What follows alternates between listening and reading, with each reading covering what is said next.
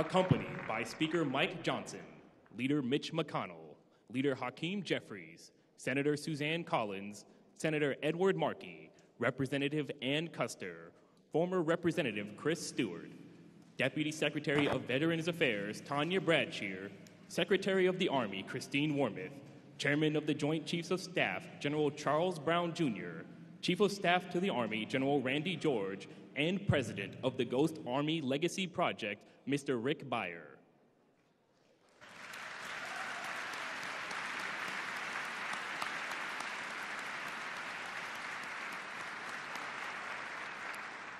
Ladies and gentlemen, the Honorable Mike Johnson, Speaker of the United States House of Representatives.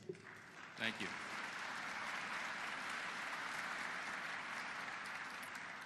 Thank you all so much. We are so proud to welcome you here to the Capitol. It is so good to see you all uh, this morning, and I, I want to just uh, thank so much the many important folks who are here gathering, my colleagues in Congress, and of course, Secretary Wormuth and General Brown and General George, and Mr. Rick Beyer, who you'll hear a lot about uh, in a little while. Our, our friends and family, and, and of course, the veterans of the Ghost Army. We are so delighted to have you gentlemen here. Uh, the Congressional Gold Medal is the highest honor that this body can bestow upon any group or individual. And today, pursuant to S 1404, we are here to award that medal to the 23rd Headquarters Special Troops and the 3133rd Signal Services Company, otherwise known as the Ghost Army. Could you have a round of applause for that?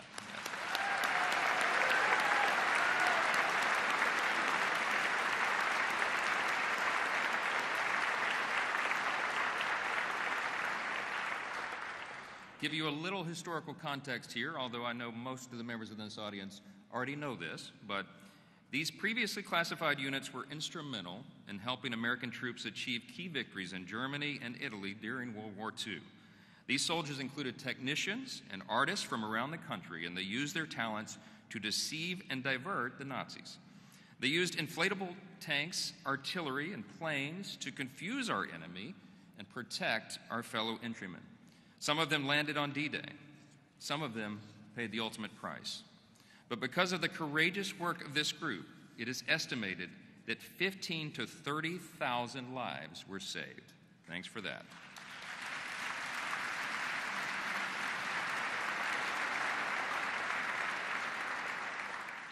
I wanted to share just one quick example of that. In March 1945, under the direction of General Eisenhower, 1,100 members of the 23rd Special Troops using sound engineering, fake radio transmissions, and even phony airfields, made the Nazi forces think there was a group 30 times their size planning an attack 10 miles to the south in Wesel along the Rhine River. Their illusion successfully diverted the Germans and allowed the 30th and 79th Divisions of the Ninth Army to cross the Rhine River. From there, Americans and British and the British changed, uh, charged into the interior of Germany, and within two months, the Third Reich had surrendered. Today, we have the privilege of honoring three of those men in the 23rd who helped with that critical, historic mission. Private Bernie Bluestein, Private John Chrisman, and Private Seymour Nussenbaum are here with us in person.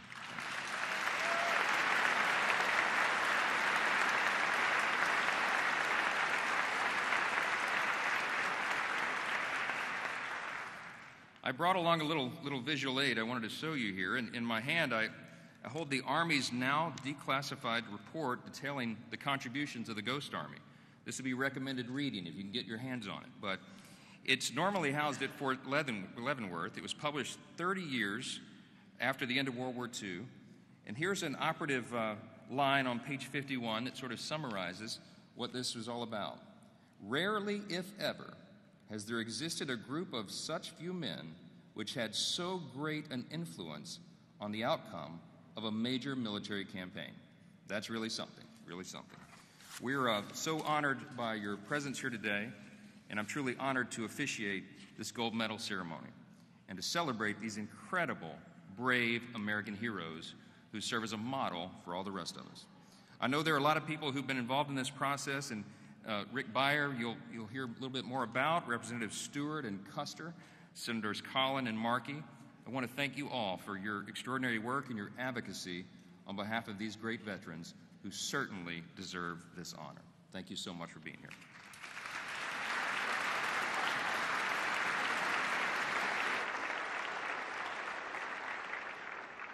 Ladies and gentlemen, please stand for the presentation of the colors by the United States Army Color Guard from the 3rd United States Infantry Regiment, the Old Guard, and the performance of our national anthem by the United States Army Band Pershing's Own Brass Quintet and the retiring of the colors.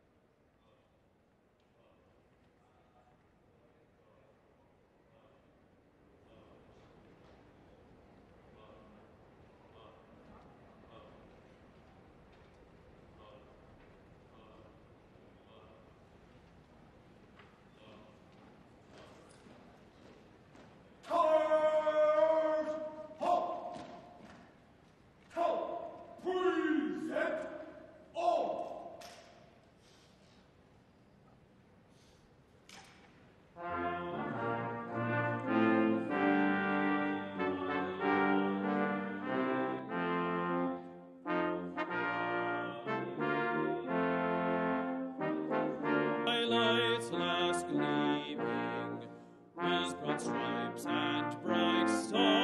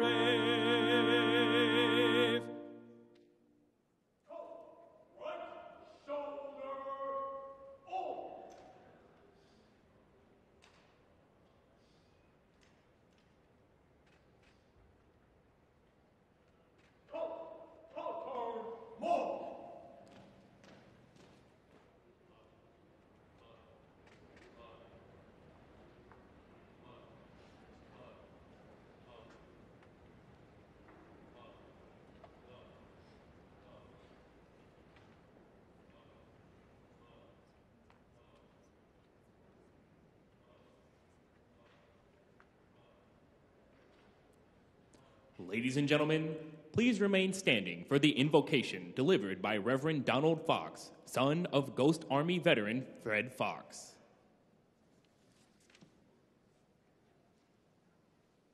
Oh God, we give you thanks here in this historic hall. We borrow words from the traditional Jewish prayer and we, we thank you for bringing us to this day. Here we are assembled around the the Statue of Freedom, surrounded by a great cloud of witnesses Native Americans, inventors, leaders in peace, in war, and in civil rights. We thank you, God, that the men of the Ghost Army are being recognized as soldiers who made a huge contribution to winning World War II in Europe without hardly ever firing a gun.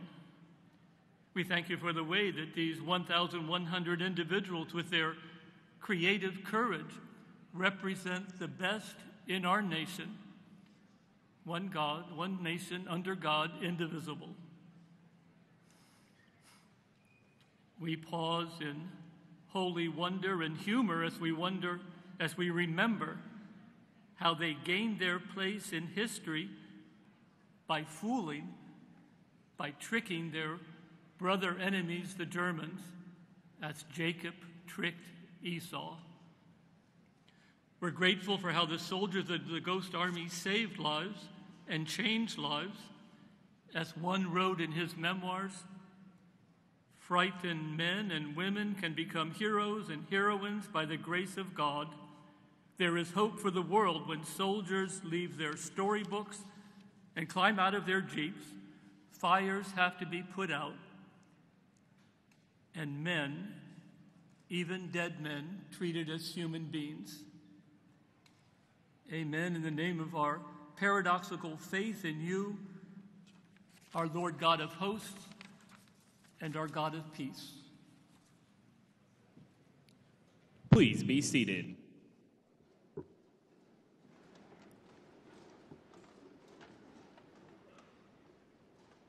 Ladies and gentlemen, the Honorable Chris Stewart, former United States Representative from the 2nd District of Utah.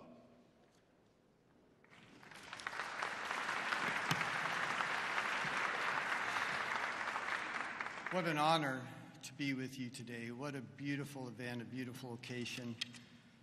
Some of you are saying, Who is this guy? He looks kind of familiar. Uh, I left Congress several months ago because of the health of my wife. Uh, and I want you to know, Mr. Speaker and others, uh, there's not been a single morning that I've woke up and thought, man, I wish I was back in Congress. but we're grateful for you, for your leadership.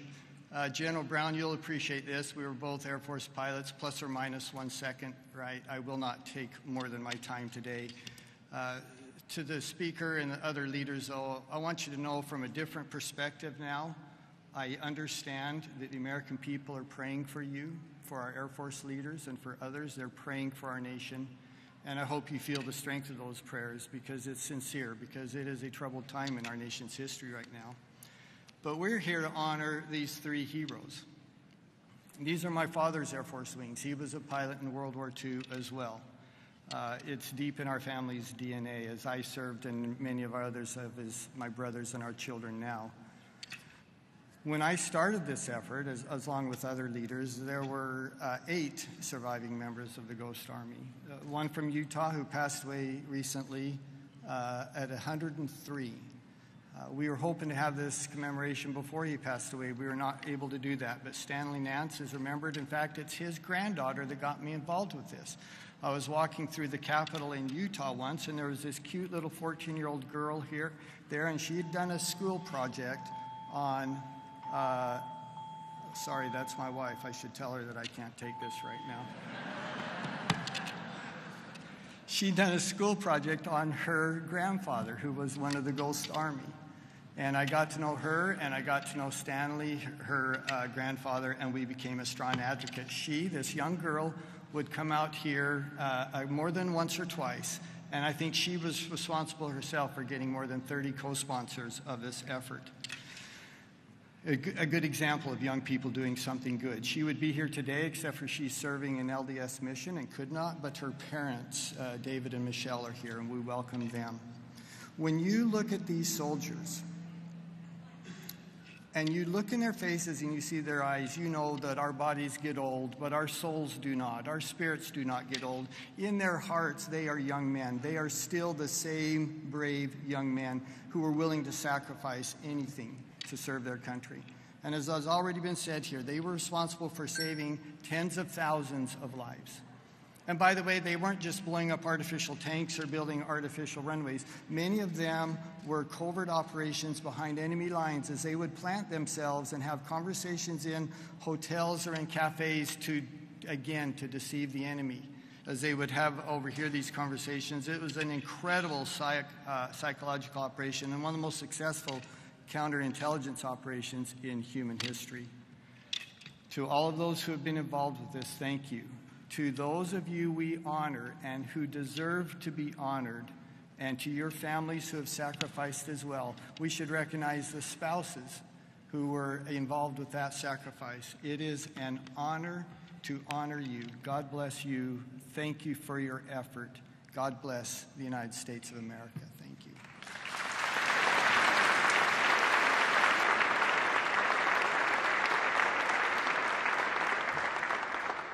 Ladies and gentlemen, the Honorable Ann Kuster, United States Representative from the 2nd District of New Hampshire.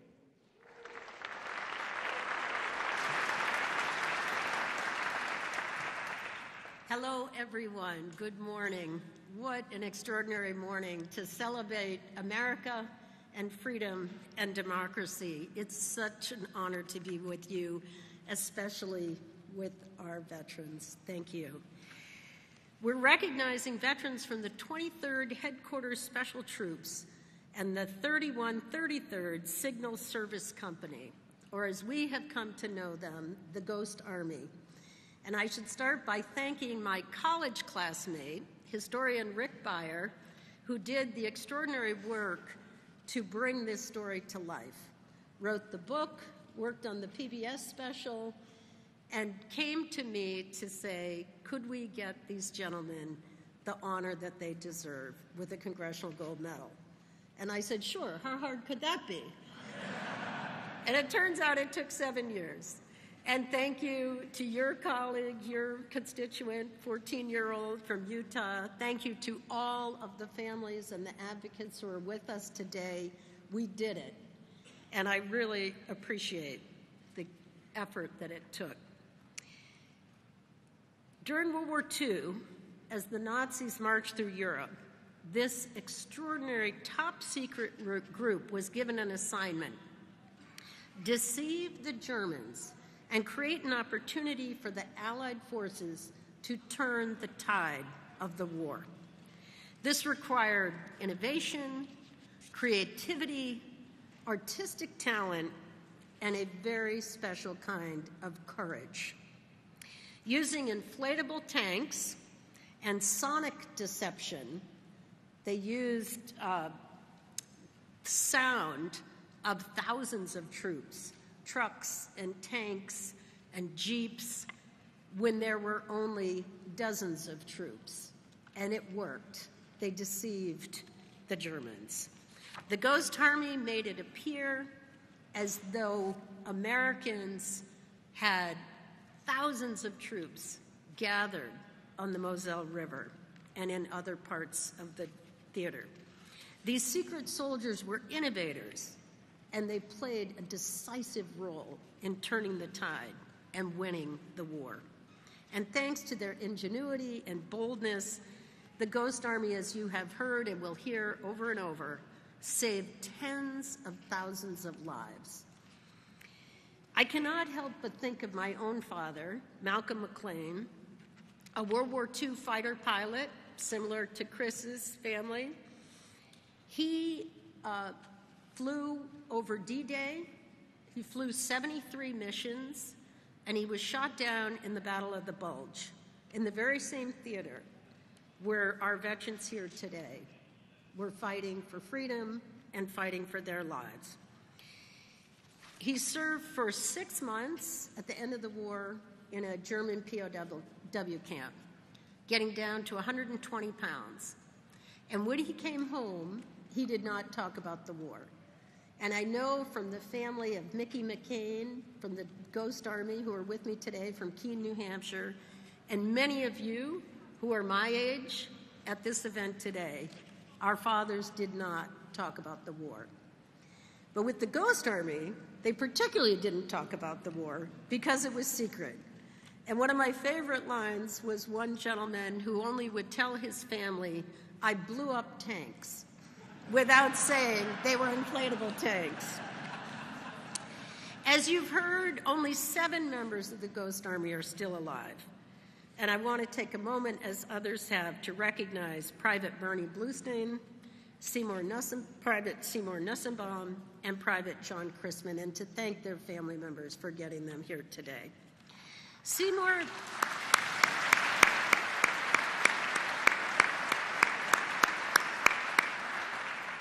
Seymour and Bernie are 100 years old and served in the 603rd Camouflage Engineers, the Visual Deception Wing. They were friends during the war and reunited at a Ghost Army event after 75 years apart. I wish my father could have met you. He would be 100 this year as well. John Chrisman, who is 99 years old, served in the 406th Combat Engineers, the Security and Heavy Equipment Wing. And as I just learned before this ceremony, John can still recall guarding the Sonic trucks as they drew enemy fire. Thank you for your courage. To these brave Ghost Army veterans and all the loved ones gathered here today, thank you for your service. Thank you for your sacrifice. It's appropriate that we should be here with the Statue of Freedom. And thank you. Our country and our world would not be the same without your bravery. God bless you and your families. God bless this incredible country. Thank you.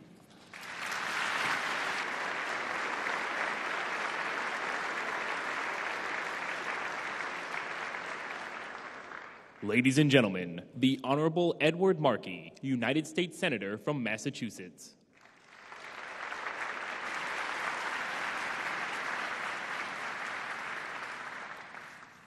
I'm immensely proud to speak today about those who served in the U.S. Army's 23rd Special Headquarters Troops and the 3133rd uh, Signal Service Company.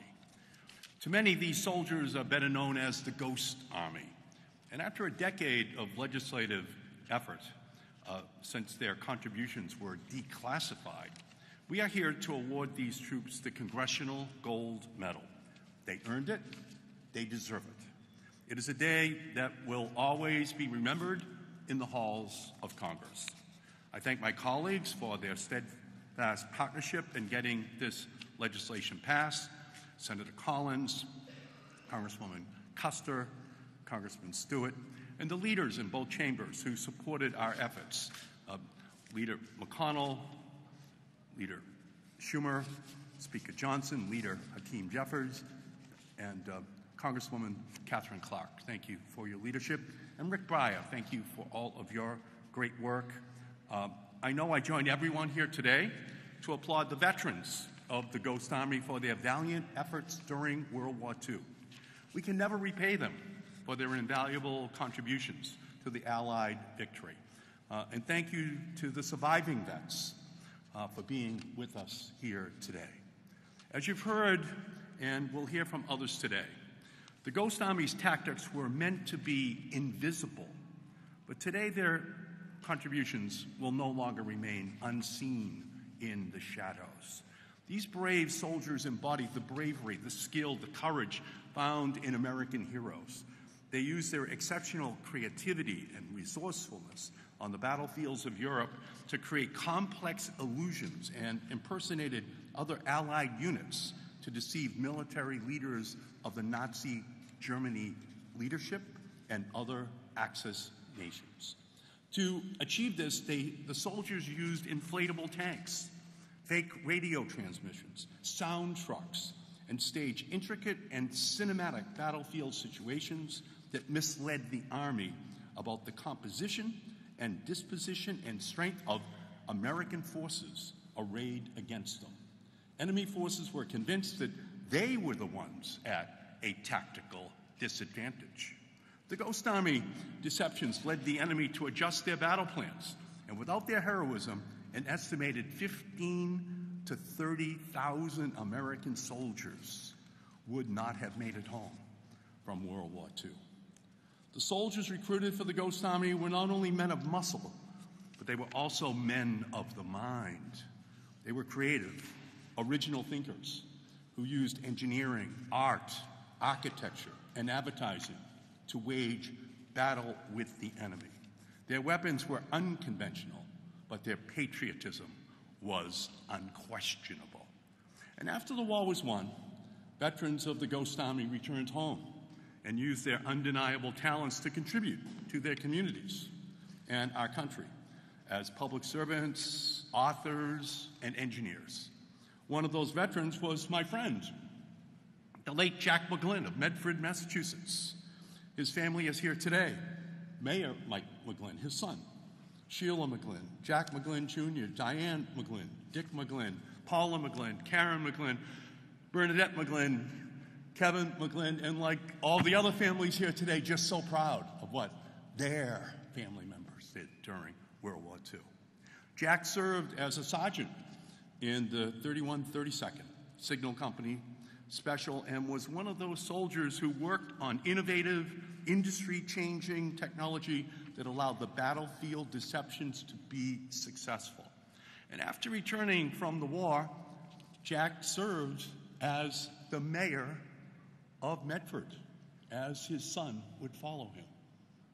He also served as a state representative, and I got to serve with him in the Massachusetts state legislature, this great man. And although Jack passed away in 2016, the first year I introduced the Ghost Army Congressional Gold Medal legislation, I'm happy to report that Medford's elementary school is now named after Jack. And he gave us another great local leader, as I said, his son. And I'm proud that he and his family are here today, uh, and they absolutely are so proud of their father. When, when his son Michael asked his father in 1996, after all this information was declassified, Dad, why didn't you tell us? And his father said to him, Because I'd be betraying my family and my country and all those people I served, said his father, a member of the greatest generation. That's who these men were and continue to be. So, my colleagues and I introduced the legislation to recognize and honor the Ghost Army with colleagues from both sides of the aisle and from both chambers. And that same bipartisanship is here today. It's no small feat to get all these congressional leaders in this room together, smiling and in agreement. It's like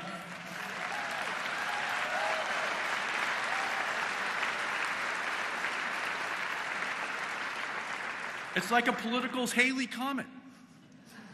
But the heroes of the Ghost Army and their families are used to defying their surroundings for the sake of making history. So we come together in celebration today, not just simply for the Ghost Army, but also to keep alive the memory of all of our veterans and the families of those who are gone, so that the generations to come will know about all of these extraordinary American soldiers. Congratulations to the families.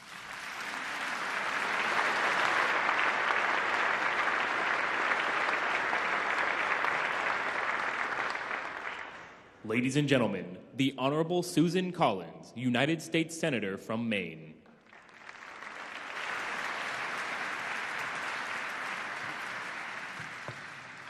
Thank you. What an extraordinary honor it is to participate in this Congressional Gold Medal ceremony for the soldiers of the Ghost Army.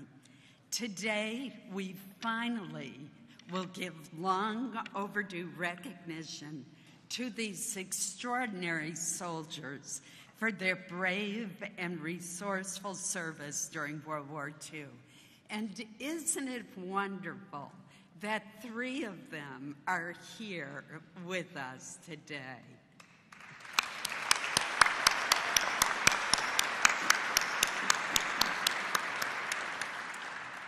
More than a thousand soldiers from the 23rd Headquarters Special Troops and the 3133rd Signal Service Company volunteered for a perilous mission to outwit and confound the forces of Nazi Germany. Among these soldiers was Private First Class Gardner Stone of Poland, Maine. I'm delighted that his daughter, Carol Allen, her husband, Clarence, and their son, Craig, are among the families with us today for this much deserved and long overdue recognition. I also want to recognize Justice Andrew Mead of the Maine Supreme Judicial Court and his wife, Kelly, who have also traveled to Washington to join us.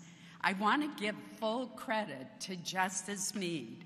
He was the one who first contacted me and educated me about the Ghost Army. I'm so grateful that he did. His father was just a sophomore at the University of Maine when he enlisted in the Army at the recruiting center in Bangor, Maine. He was a member of the Signal Service Company and was deployed to Italy in early 1995. Also with us here today is Melinda Skelton McKinney from Windham, Maine, who honors her father, William Skelton's service in the Ghost Army. William served as a captain in the Camouflage Engineers Unit. He received the Bronze Star for meritorious service for five battle engagements.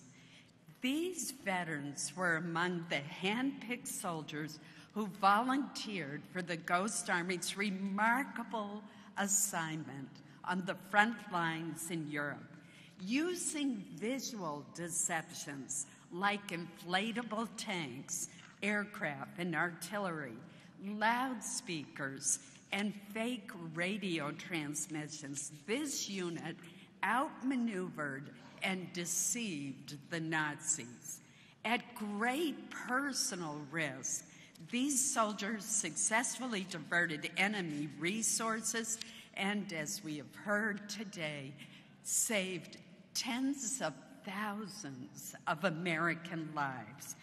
The courage and ingenuity of these top secret units were pivotal across the European theater in World War II. And like Annie Kuster, my father also was a veteran of the Battle of the Bulge, where he was wounded twice and, and secured two Purple Hearts.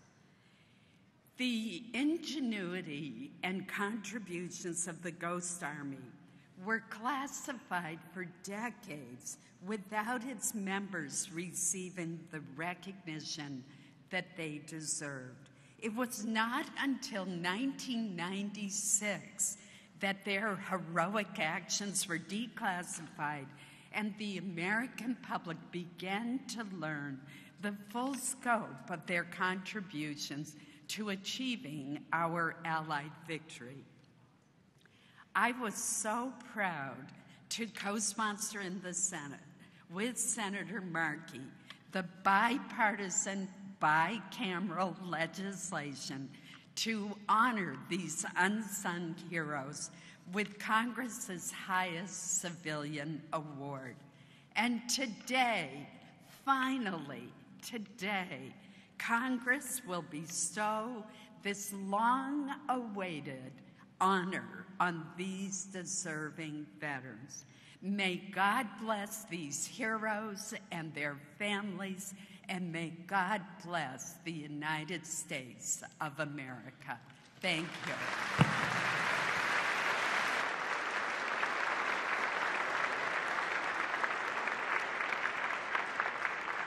Ladies and gentlemen, performing the song American Patrol is the United States Army Band Pershing's Own Brass Quintet.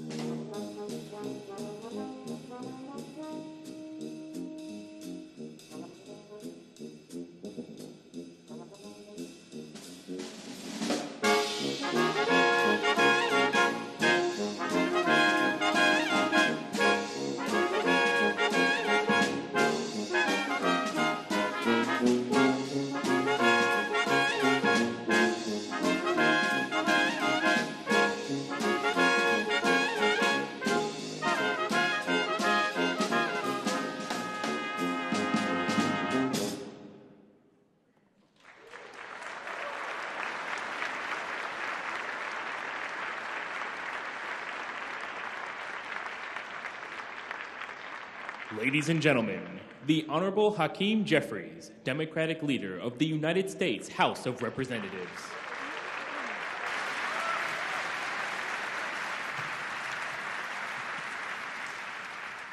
Speaker Johnson, Leader McConnell, to Representative Kuster, Representative Stewart, Senator Markey, Senator Collins, uh, members of Congress, the Joint Chiefs of Staff, veterans of the 23rd Headquarters, Special Troops, of course, acknowledging the 3133rd Signal Service Company, families of the Ghost Army, and all those assembled.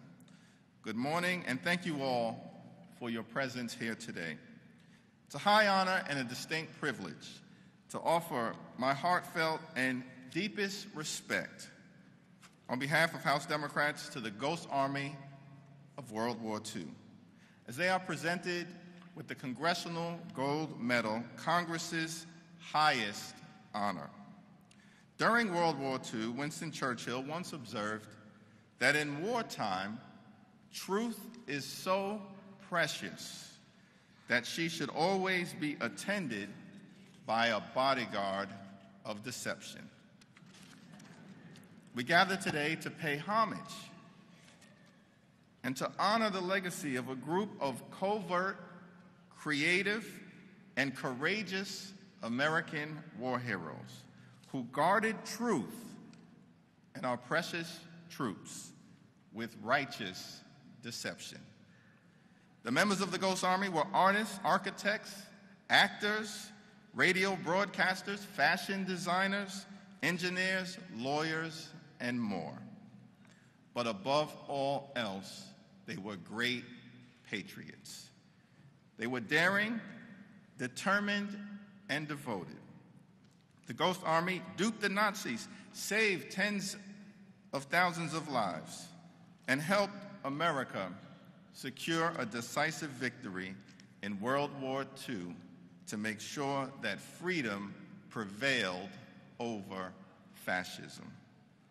Yet their story was, of course, a classified secret for half a century. And many Ghost Army patriots took that secret to their grave. Today's ceremony, therefore, and this Congressional Gold Medal reaffirms our commitment to remembrance and reverence as we honor all of these patriots, including Bernie Bluestein, John Christman, and Seymour Nussenbaum, who happens to be from Brooklyn.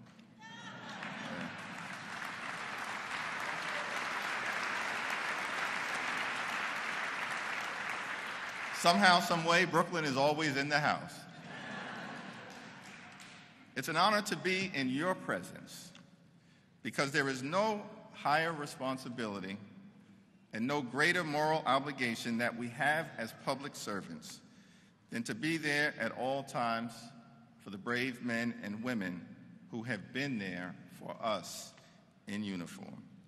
We salute the ingenuity of their spirit, creative brilliance, and the bravery they displayed in risking their lives to confuse and deceive the Nazis on the battlefield. President Eisenhower once reflected, when talking about World War II, that every war is going to astonish you in the way it occurred and in the way it is carried out. Heroes and patriots, we thank and honor the members of the Ghost Army for their unique service to our nation, as well as for their commitment to saving lives, defending democracy, and standing up for freedom in the face of tyranny. The ingenuity and valor of the Ghost Army has astonished a grateful nation. Congratulations on this well deserved honor. May God bless all of you, and may God continue to bless the United States of America.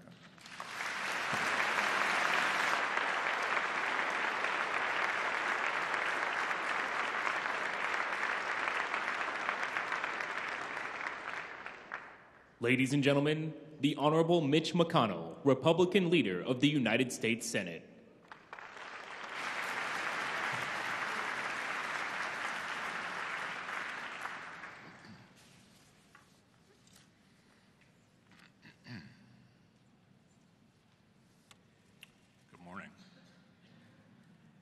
it'd be tough to find a story that better captures the extraordinary breadth of our nation's wartime experience than the legend of the Ghost Army. A story of commitment and resolve, bravery and devotion, and remarkable talent and ingenuity. The crucible of the Second World War demanded that best America had to offer on every single front. But the Ghost Army may have been the only place in history where you could find a demolition specialist like Jack Christman, a counterfeit patch designer like Bernie Bluestein, and Seymour Nussenbaum, all working toward the same goal fooling the enemy. It's the only place where a kid from a hometown of Louisville, like Georgia Toole, could find himself at the center of some of the war's most sensitive high tech breakthroughs. The sonic deception, a mission that I'm proud to say was forged in Kentucky at Fort Knox. Our nation has been slow to recognize these men's incredible achievements. And of course, that was partly by design. They weren't just helping win a world war, whether they knew it or not, they were developing top secret ways to help preserve a hard won peace through the Cold War. But today, today the veil of secrecy is gone. And when I read incredible stories like Jack's, Bernie's, or Seymour's, I think about my own father's path across Europe in the spring of 1945 as a foot soldier in Patton's army. I think about how he made it home to my mom and me after two thirds of his company was wiped out. And I think about how these stories are intertwined.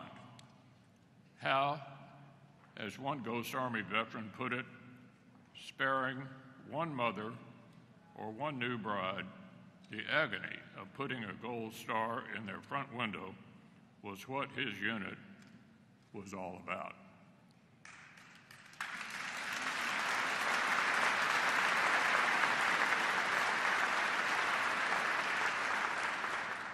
So to Seymour, Bernie, and Jack, and to your comrades not with us today, a grateful nation knows how you answered the call in its time of need. America will never forget your service, and I'm so very proud to join in honoring you today.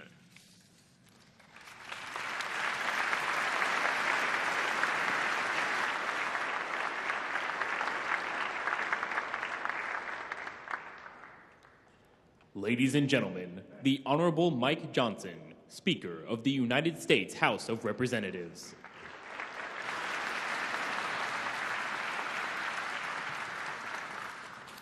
What a, what a great event this is, has been. Thank you, uh, Leader McConnell, and, and all of my friends and colleagues here. Today we honor those who passed and those who have survived to tell this great tale of the Ghost Army.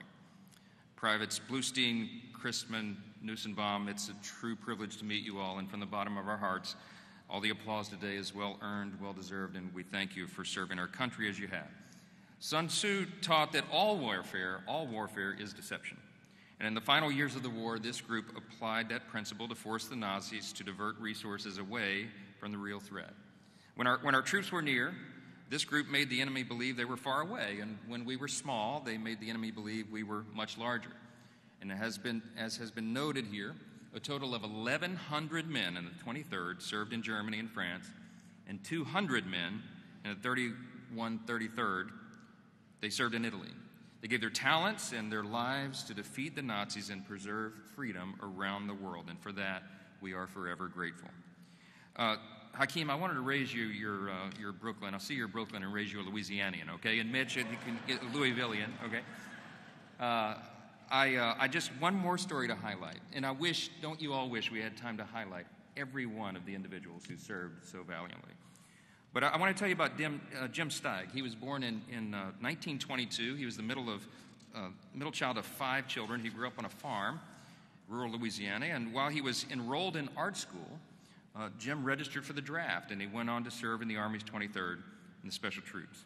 As a part of his covert unit, he helped make fake tire marks and he, he, he pumped pre recorded audio across enemy lines through camouflage speakers. When he wasn't making inflatable artillery, Jim made portraits of his fellow soldiers and even of Russian refugees that his unit cared for. He and his fellow artist soldiers would even put on art shows in their tents, little humanity on the battlefield. Sadly, we know, history tells us, and the story records, that many of those that Jim painted did not even live to see the end of the war. They, they serve as reminders of the heavy cost of freedom and the devastating effects of tyranny. But over the course of the war, the Nazis regularly stole great masterpieces in an attempt, as you know, to consolidate power and crush the human spirit. But here's the thing just as the enemies of freedom were stealing and destroying the world's great works of art, men like Jim Steg were using their God given talents, creating new works of art to defeat our enemies and uplift the spirits of their fellow soldiers. After his time in the military, Jim uh, moved to New Orleans, where he became the city's most influential printmaker. He spent four decades teaching at Tulane University and mentored countless Louisiana art students. Those who knew Jim remember him as a problem solver.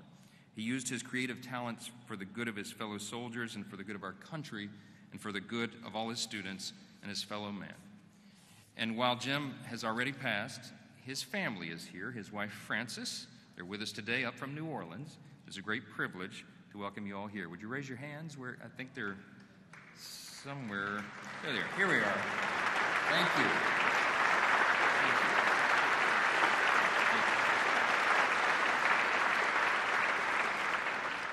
Take that, Brooklyn. I'm just saying. I'm just saying. Before I close, I, I, would like to also honor uh, Rick Beyer. You've heard his name many times today. If you don't know Rick, you should. He began working on this project 19 years ago, and he's been working on getting the gold medal for nine years. Rick, you're about to hit your 20 year mark on this project, and it ought to come with a pension, my friend. Um, it's, it's taken a long, long time.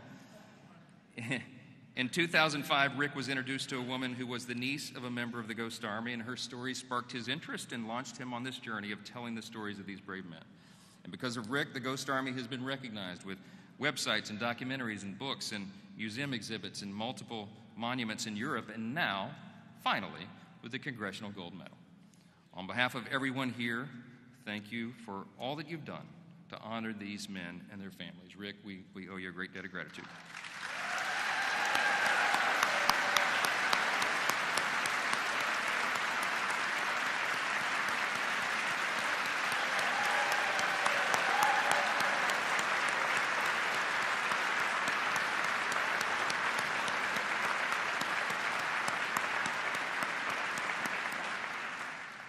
It hasn't even aged you. You must have started when you were 10 years old. It's amazing. At, at, this point, I would like to invite, finally, so that we can all honor them appropriately, the three veterans to the stage to accept this medal on behalf of all members of the Ghost Army. And feel free to applaud as I call their names. First, Mr. Bernie Bluestein.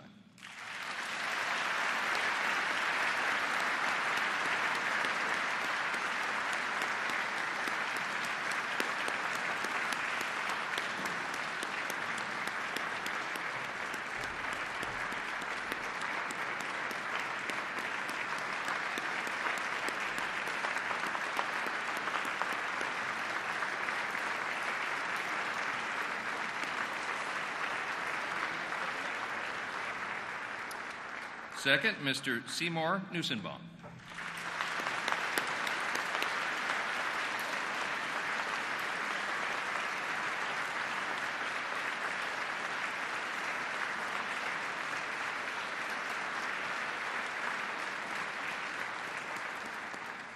Finally, Mr. John Christman.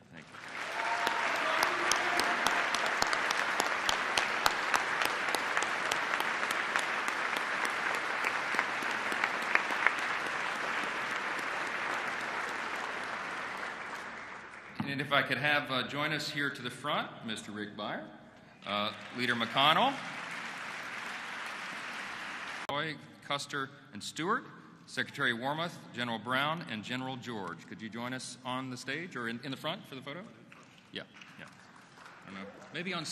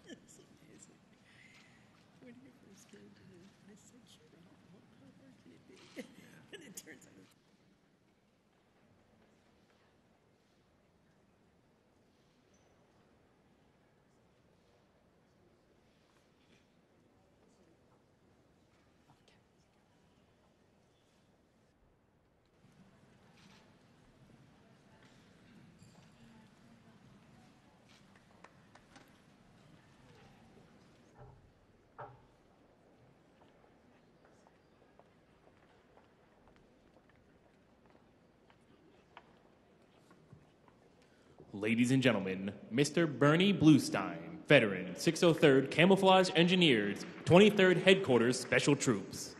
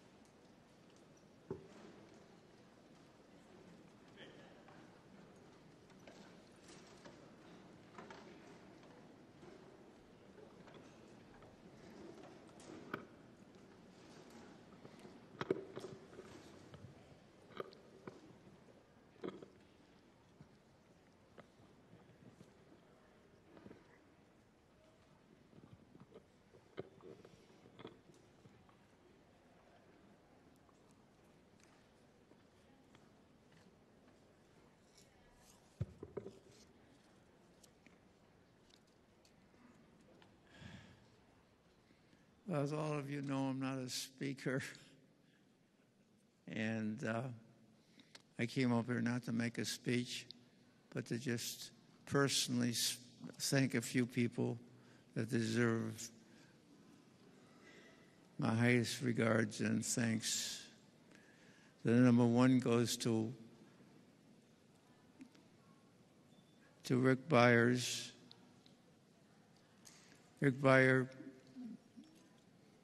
started this whole thing. If it wasn't for Rick, I wouldn't be up here along with my comrades here.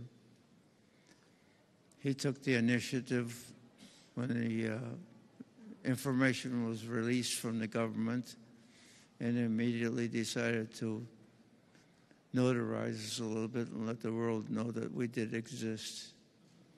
And uh, that was quite an undertaking. He did quite a successful job.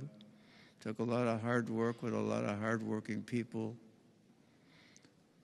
canvassing Congress and getting the proper vote and getting the president to sign it. I would also like to personally thank uh, Gary Senussi for personally sponsoring my trip here. Was very generous of his, him and his foundation, and I want to personally thank him for that. I want to thank everybody in my life that I've contacted, many of you. You've all contributed to my existence and to my being who I am. And I'm very proud and happy to be here to receive this honor.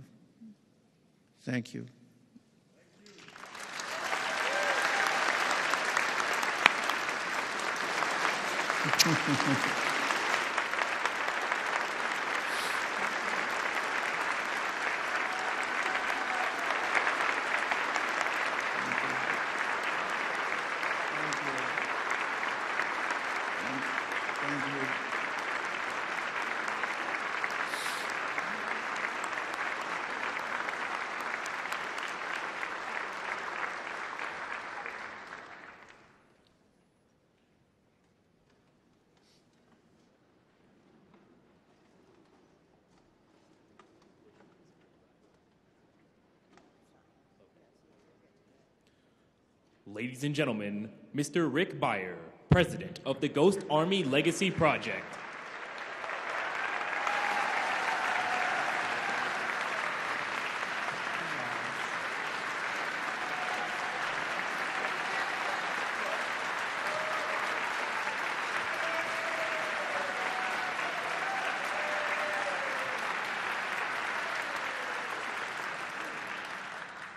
You very much. I did not serve in the Ghost Army, just to be clear on that. So, here for you guys.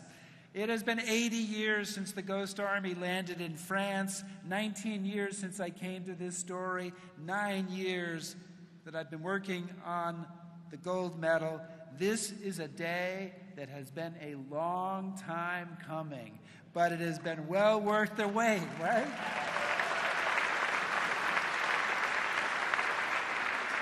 I want to thank our four sponsors who all have already spoken Senators Ed Markey and Susan Collins, Representatives Chris Stewart and Annie Kuster. I saved Annie for last because she is special. She and her aide, Will Pisano, who's also here with his dad today. Will, where are you? Will, where are you? Stand up. Okay, so there's Will Pisano. All right. They have been involved from the start. Annie was the first to introduce this legislation, and so she started the ball rolling. I also want to thank the 370 representatives and senators who signed on to this bill. Mr. Speaker, I know that you know how hard it is to get stuff done in Congress. Am I right? Here was a bill that had no big money and a powerful interest behind it, and yet 370 representatives and senators signed on as co sponsors simply because it was a good idea. Yes. And I want to thank I want to thank the people who lobbied for this bill. Many of them are in this room. You fought for this in person, by phone, by email, by Zoom. You worked for hard for years to make this happen, and you deserve our deepest gratitude. And then, yes, yes, please. And then there are the veterans Bernie Bluestein, John Christman, Seymour Nussenbaum, who are here with us today. There are other veterans who are watching from home today. Thank you. And there are all those who are no longer with us. When the Ghost Army soldiers were landing at Omaha Beach, when they were setting up inflatables in the rain near the front line in Brest, when they were freezing in the snows outside of Bastogne or drawing fire on the Gothic line in Italy, they would have been shocked by the idea that 80 years later, a grateful nation would honor them in this way. Because no soldier who served in this unit considered himself a hero. I have talked to many veterans of the Ghost Army, and each told me that the real heroes were the infantrymen and the tankers who bore the brunt of the fighting. But it has always struck me that the Ghost Army's deception mission demanded a special kind of courage to project strength when you have none, to purposely draw enemy fire to keep it from falling on others, a dangerous business, not for the faint of heart. I note the presence in our audience today of many U.S. Army officers from the rank of sergeant all the way up to the Army Chief of Staff, General Randy George, particularly well represented. I should also mention the chairman of the Joint Chiefs of Staff is here, uh, General Brown. Particularly well represented are the U.S. Army's PSYOP forces. What the Ghost Army accomplished is not simply trapped in the past, it remains an important inspiration to the Army today. In January 1944, Private Harold Dahl of the 603rd Camouflage Engineers rode home from Camp Forrest, Tennessee, after learning for the first time about the deception mission they would be carrying out. I can't tell you who else is with us, nor what we will do when we start to do it on Monday, but it promises to be very interesting. And, f- and frankly, it looks like we are at last going to play a real part in the war effort. Lieutenant Gil Seltzer described it more succinctly. We all came to the conclusion that this was a suicide outfit. But they had a job to do. So they put themselves in harm's way, wielding imagination, bravado, and creativity in order that other soldiers might be able to fight and live. Four men died carrying out these missions, but most of them came home and then kept quiet about it for decades. And don't you think that's remarkable? In, yeah.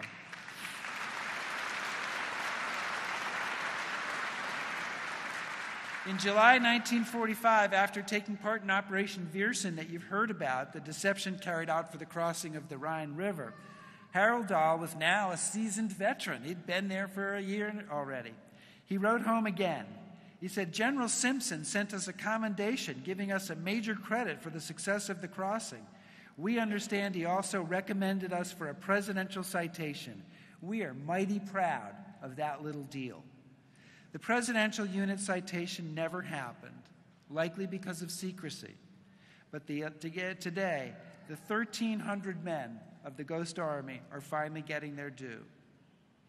On behalf of the veterans, Bernie Bluestein, Seymour Nussenbaum, and John Christman, who are here today, on behalf of Private Harold Dahl and Lieutenant Gil Seltzer, whose families are here today, on behalf of other veterans watching from home, on behalf of all their fellow soldiers, their children and grandchildren, on behalf of the men whose lives they saved and their children and their grandchildren, I thank Congress and the President and everyone who helped make this happen for recognizing and honoring the laudable wartime service of the Ghost Army.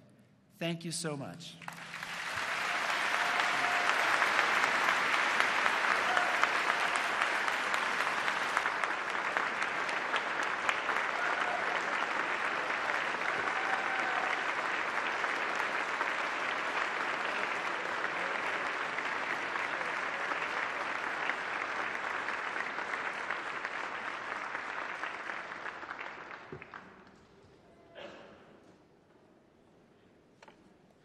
Ladies and gentlemen, the Honorable Christine E. Wormuth, Secretary of the Army.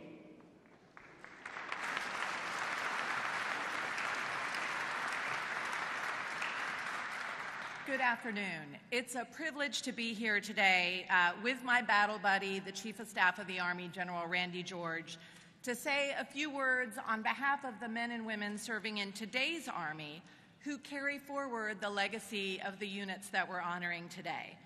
As a whole bunch of speakers has said, this recognition is long overdue.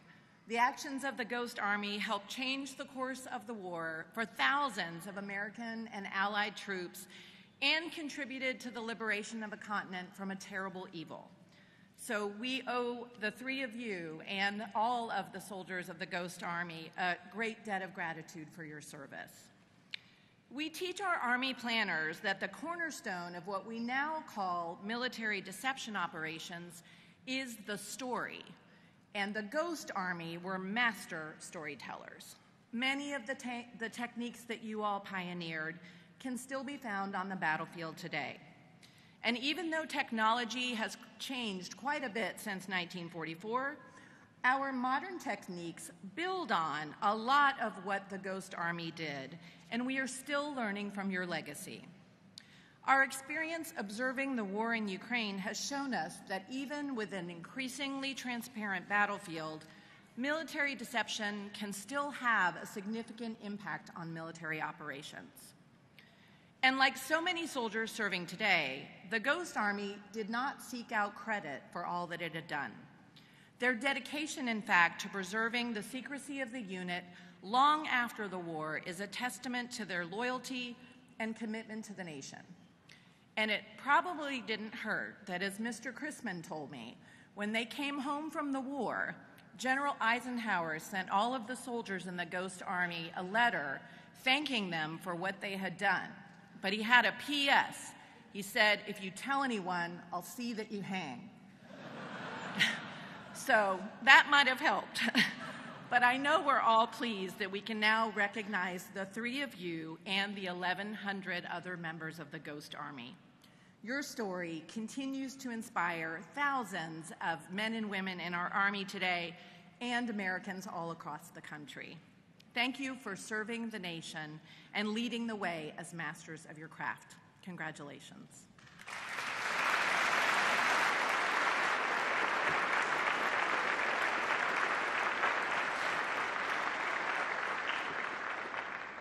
Ladies and gentlemen, please stand for the benediction delivered by Chaplain Major Aaron Stucker Rozowski, 338th Medical Brigade, United States Army Reserve. Good morning and blessings. I invite you to pray according to your faith tradition or deeply held beliefs as I pray in mine.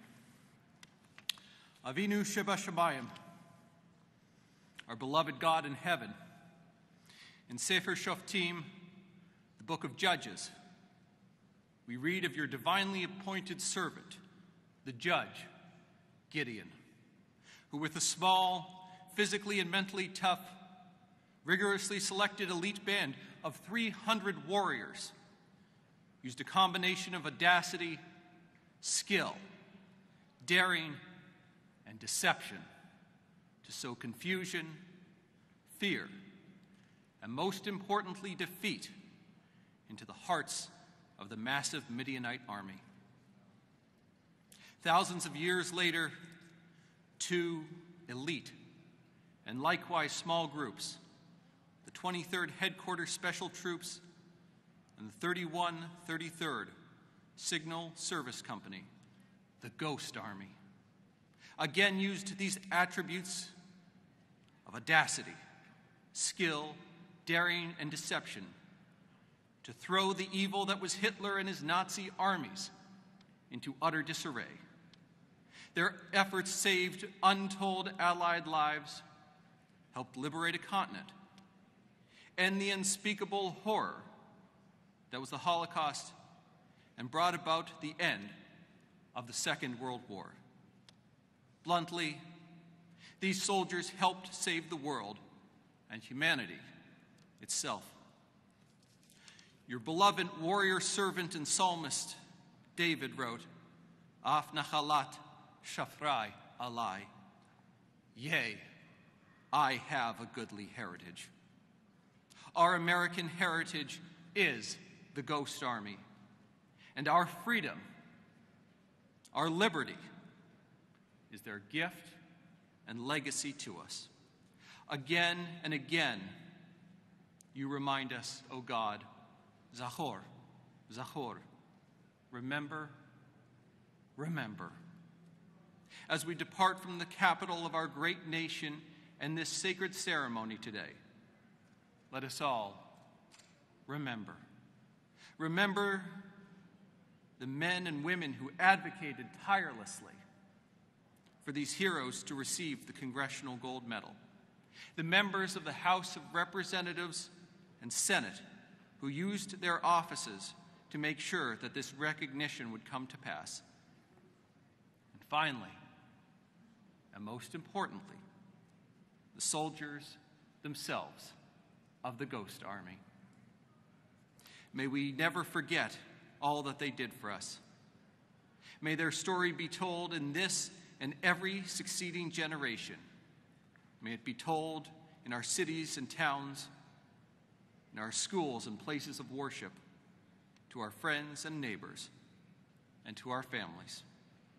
May their righteous deeds and heroic memory live with us and a grateful nation forever and ever. May God bless the Ghost Army, the U.S. Army, and the United States of America. And let us say, Amen.